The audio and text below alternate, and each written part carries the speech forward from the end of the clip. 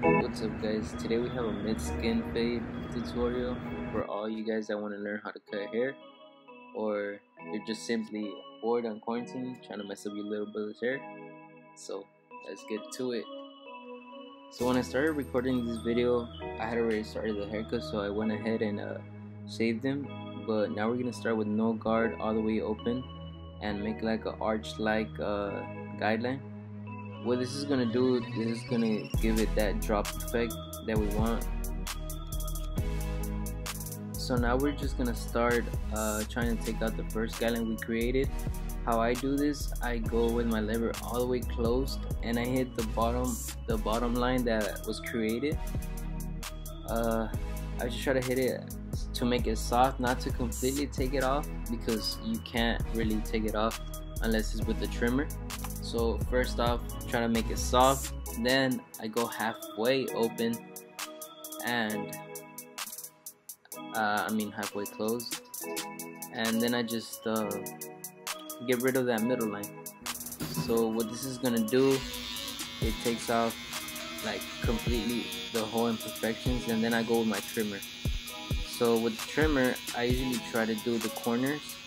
Don't try to don't try to use the, the whole blade too much because sometimes the whole blade uh, creates another guideline and you don't want that. Alright so the next step to this fade it's gonna be the one guard all the way closed and I do the same guideline like the same uh, size guideline as the first one just that I do it uh, of course on top of that one so I just start doing the same the same type of guideline which is the arch guideline. And again it's gonna give it that uh, that drop that drop effect. And and you just hit it thoroughly. So there's no there's no choppy sides or anything. You want to make it straight as straight as possible or as clean as possible so the fade could pop up a little bit more. Alright so this next step is kind of similar to that one other step I had done uh, with my half guard uh, halfway closed I'm gonna start um, cutting through that one guard fading it down and little by little just keep closing that lever. And as I go as I close it I go more down just gonna do the same purpose as the other step I had just done. So now we're gonna go with the one and a half guard uh, lever open and we're gonna create a a similar guideline like the previous ones. The only thing with this guideline is that you can't go too high, like you can't get into the, the top here because if you do, it's gonna look like like a chopped piece. So it's gonna look like if you give them a bald spot or like something like that, you know. So once you're done with that one and a half, you're gonna go with the one, and again, um, it's gonna be like the previous steps. I know it sounds kind of repetitive but this is crucial for this fade so trust me it works out. So you're just gonna be closing it uh, as you go down. And I also just um, get my half and start just cutting through it. And I feel like there's no rules for this you know like there's no rules that you can't go this high with this guard whatever. I feel like you just have to eyeball it sometimes and do whatever you think it's best. Um, for example you see me here just uh, man if anything experimenting because at the end of the day uh, that's what it all comes down to. It sounds kind of funky or maybe it may be kind of scary because you're like, damn, what if I if I hit this with a lower guard and I leave a bald spot? Trust me.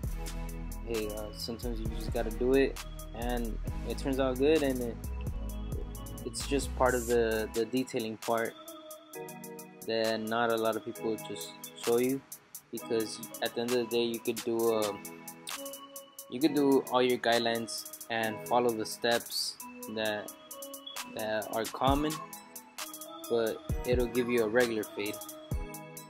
If you're not comfortable with the with the fade itself, I feel personally that you should just keep blending and blending and blending until there's until you're happy with it because of course I personally don't don't stop fading until I like the, the blend itself.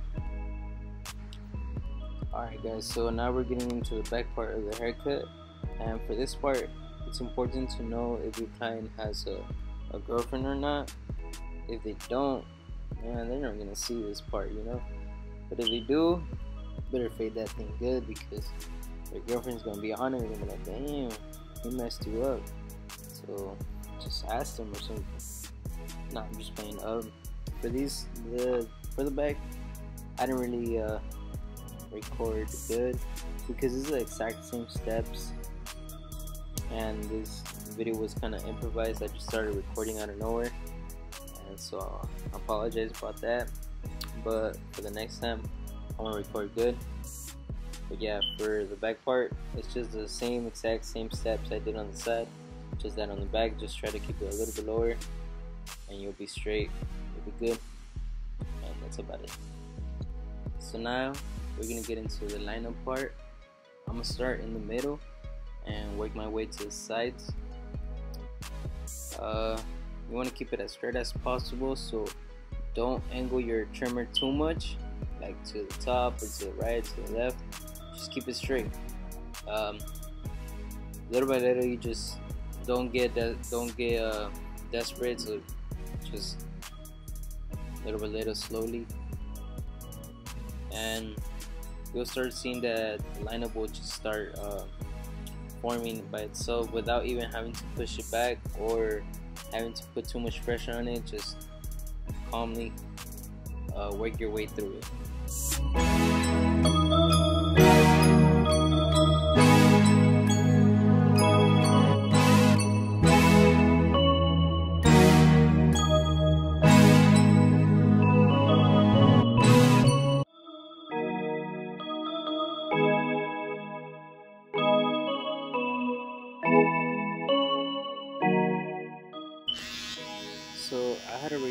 this line but I like to go over it again so it look a little bit more crispier.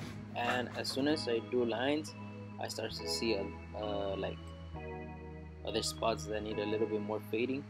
So don't mind that. Um, like I said before there's no rule to this so you could just keep going with whatever guard you like or whatever guard you feel that will make this circle a little bit more sometimes there's like little dark spots like those that need a little bit more but it's no no, no big deal. So next up I'm using a little bit of enhancement but not too much. Try not to go too crazy. As you can see I just do a little tap. So it doesn't look ridiculous you know so it doesn't look fake. So it looks just like it goes with the haircut. Don't try to put it into the fade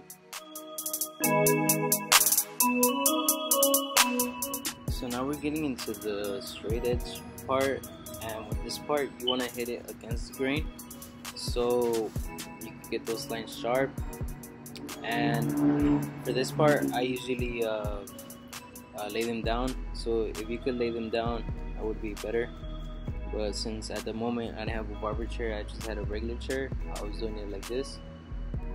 So usually just go against the grain and try to take all those little hairs that are in the forehead naturally.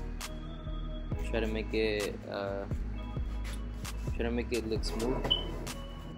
And with this now it comes this uh, little detail that I, I personally like to do because there's usually hairs uh, behind the ear. So I usually just shave behind the ear try to get all the little hairs that are there all the peach fuzz as you can see it right there. Just try to clean it up the most you can. Alright so now I'm gonna just clip over comb try not to dig in too much with this because this is just for the little hairs that stick out. So try to just uh, put the comb in and then bring the comb out a little bit so you're not digging into the hair and leaving a bald spot alright guys so this is it. This is the cut. I hope you guys liked it. I hope you guys liked the tutorial as well. And I got nothing else to say except try to have fun with it with your haircuts. Get creative. Don't be scared to do anything. And uh, you'll go far. You'll be big until next time don't forget to like and subscribe. This is Barbernando deuces